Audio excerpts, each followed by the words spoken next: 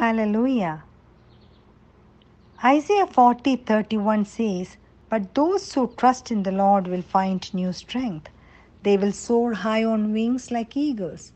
They will run and not grow weary. They will walk and not faint."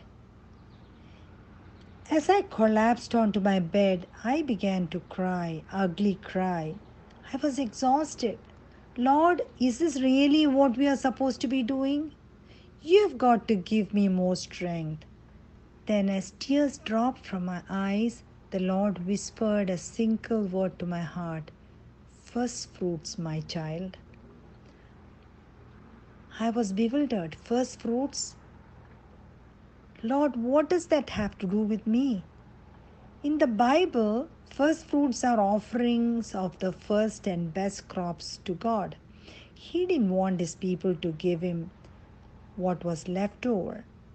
God wanted the best of the best first. That's when I realized I wasn't giving him my first fruits of anything. Instead, he got the leftovers of my time, energy, and heart. Everything was sporadic and hurried. Now he beckoned me to put him first, above everything. But I couldn't get up any earlier in the morning as I go to bed very late with so much of responsibilities at work, home, and prayer line, and I was literally falling asleep at stop signs. Gently, the Lord nudged me toward another part of my life, organizing my work. At first, I pushed back.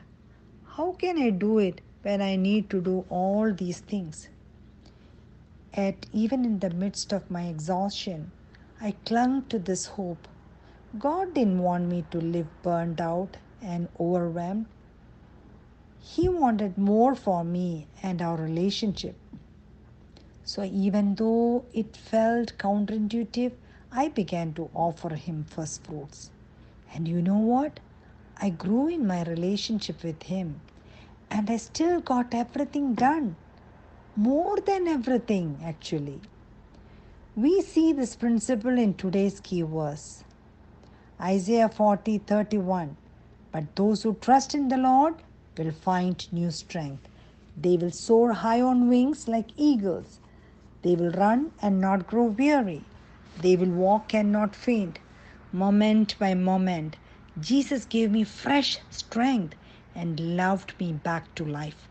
I'm not saying I never lost my temper.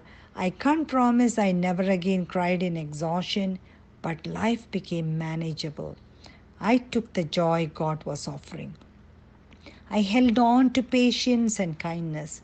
I was more loving. The Lord asked me to give up many small, small activities to instead start waking up hours before my family. Early morning, I want to usually early morning I want to snuggle deeper into my comforter when my alarm chimes. But each morning I make a conscious decision. What's more important? My precious moment with my Jesus or my sleep? I would rather pick Jesus every time. Lord Jesus, you see me when I ugly cry. You understand my exhaustion, my ache. Thank you for whispering that you are there and you have never left me alone. Help me to learn to put you first always, above everything. Love me back to life, Lord, because I want you, so much more of you. In Jesus' name, amen and amen. God bless you all.